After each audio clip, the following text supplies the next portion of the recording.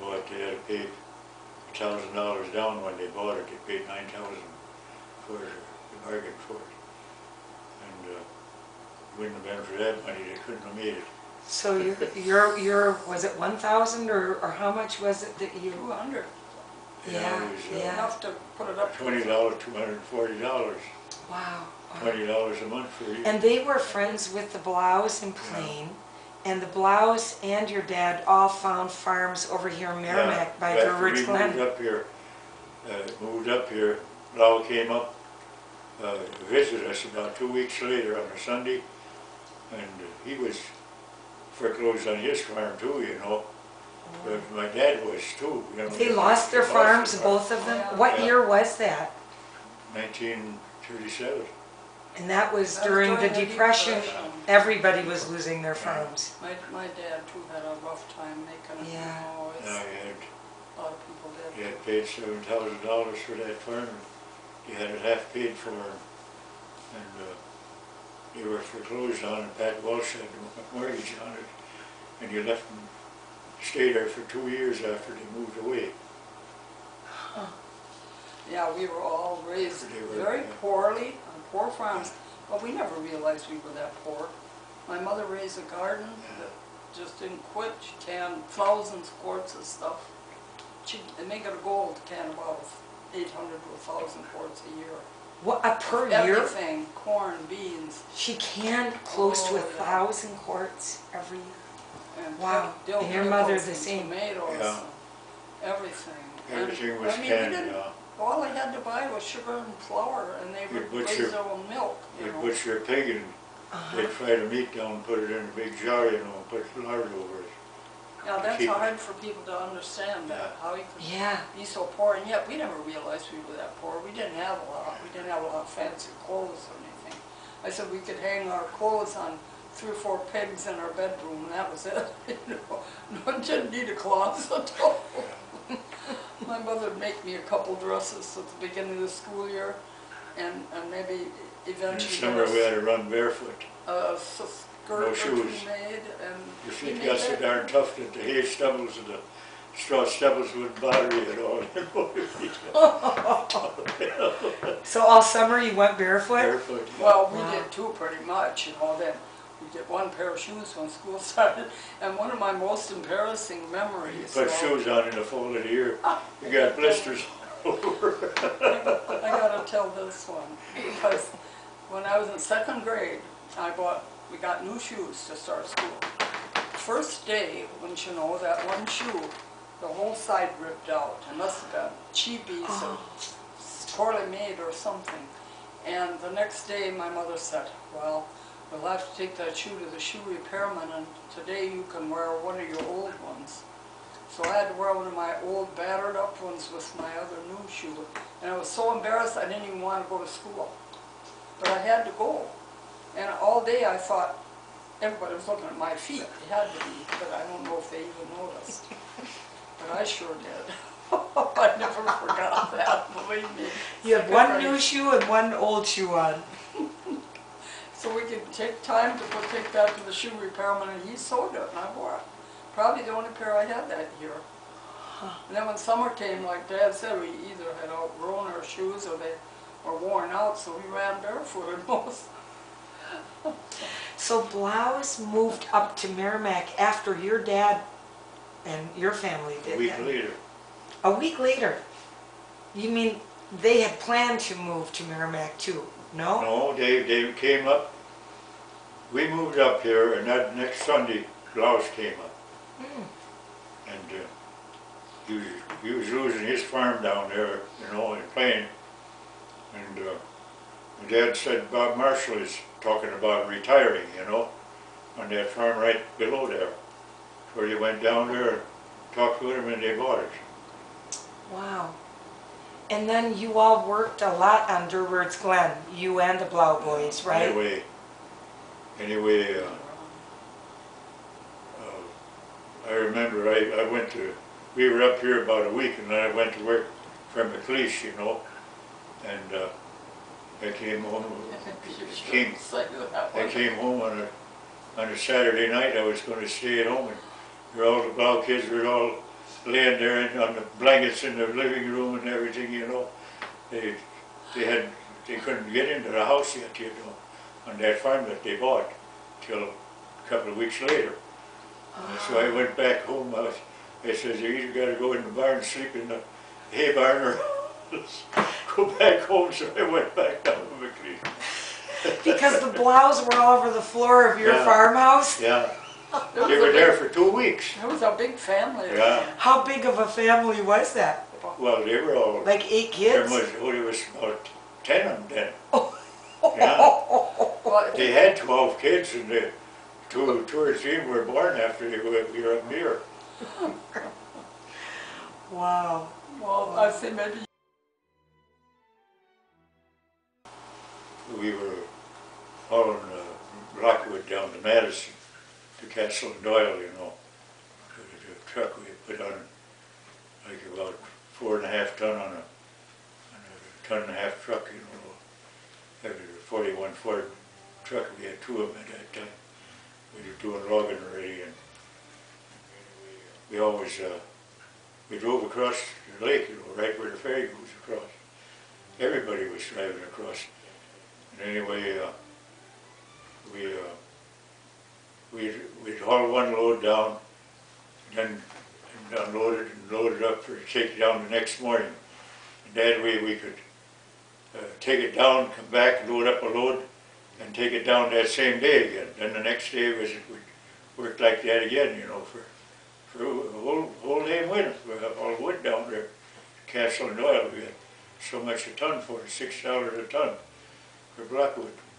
They peddle it out, you know. what were they doing? Something make you building buildings? on No, no, cars? no, Or- firewood Oh, For- for firewood, fire- I see, I Yeah. see, I see. for uh, fireplaces, you I was know. thinking of lumber. I guess. Peddle it out by the, by three, four pieces, you know, for a dollar. You know how they do it. Oh, yeah, I suppose. Anyway, we had to load loaded up to go in the morning, and Lawrence got up at, at five thirty and, and started out home, and here, goddamn it, he come back already walking, you know, he got a ride with somebody, come home and he says, we went through the ice with the truck. And, he's, he told us how it happened, you know, he drove across, you know, it was about halfway where the railroad bridge is and, and where the ferry goes. Went out, there was forty-seven feet of water there. And, uh, Oh. Did you He lose? said- he said he drove out there, he was going in, in second gear, you know, like we always used to drive just so, uh, 15, 10, 15 miles an hour. And, uh, the, the hind right wheel started breaking down, you know, and, uh, dur- during the night, the ice was ten inches thick. And, uh, anyway, it must have cracked, the ice must have cracked right along where the track was, you know, that night. Anyway, he was driving along and the hind right wheel started breaking, you know, went down, and it kept going and went break off in chunks like that, you know. And all at once it went right down. And uh, then he said he'd walk back out, but uh, looked at it and he thought, oh hell, we got that four-wheel drive, you know, that with big A-frame and the winch on at that time for logging. We'll just get a couple of planks and we'll lift it up. There was nothing to it, so he come over and he heard another crash and the hind left wheel went down. And uh, then it sat there for a while, he washed it, and the doggone thing broke. The platform broke the width of eight feet, and it went down ass first like that. Front end was sticking up in the area, and it went down in a hole that was eight feet wide and eight feet long. Big truck. The roller front wheels rolled right back, and So you lost your logging truck, that was it? yeah, it was down there, forty-seven feet of water. Oh my God. So how the hell are we gonna get it out? So we got Russell up there prepared, we had a big, had a a wrecker, you know, and a lot of cable and stuff. So in a way we had some uh, six, six by, six by eights that were, were uh, like ten feet long, you know. And we made some big sawhorses, two, two big sawhorses out of, out of that. And uh, we had put some planks down underneath where the the legs were, you know. And, uh, we, uh, had two big telephone poles that we put across on that. Then we put a chain hoist on there. Russell had a big, big chain hoist, you know. But the thing was, it wasn't high enough. We went, we hooked down.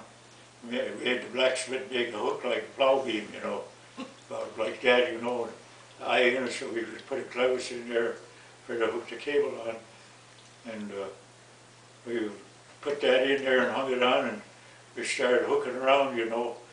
And you, you could feel the truck when we had took a, we had a couple of pieces eight foot aluminum pipe that we Weren't you afraid Put you'd together. fall in and it was yourself? sitting down there with the platform up, you know.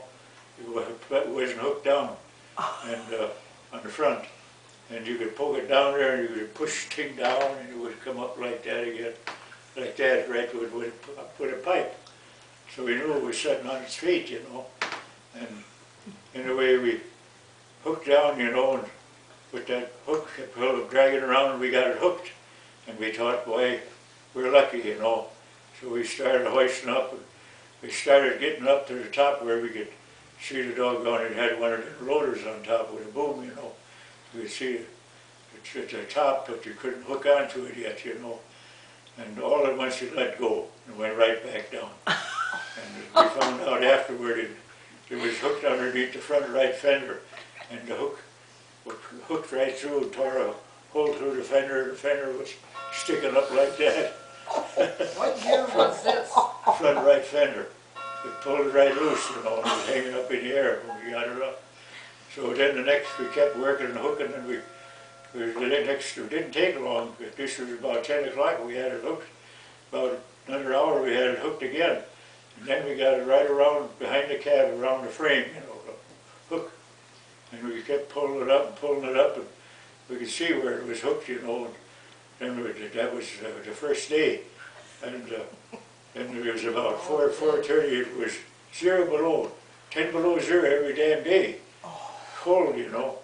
It would, uh, water, water come up through the whole hole, you know, and wherever you got a dog gloves wet, when we touched some iron, it stuck, stuck right on. It was that cold and slippery. And we had a, we had a, a canvas and we had cut a hole in the ice and put posts in, you know. Had the canvas around here to keep the wind away, otherwise you couldn't stand it out there, ten below. And Anyway, we got, the, the second day we got it up to where we could stick a, a pole through underneath and it sat there, you know. And, uh, we, uh, also right away drained the, the radiator and, the- and uh, the crankcase, you know, the transmission and that stuff, all the, the cab on the inside was all full of oil, transmission grease. and That cardboard that was on the cab was all hanging down. All soaked, you know, all, it was a hell of a mess, all the grease all over the windshield. It all came out of the transmission. And the wood was all in the bottom of the river. Yeah, and we, Herman wanted to come over with his two-wheel trailer, he got one trailer load out of the hole, the rest went Uh-huh. underneath. How could?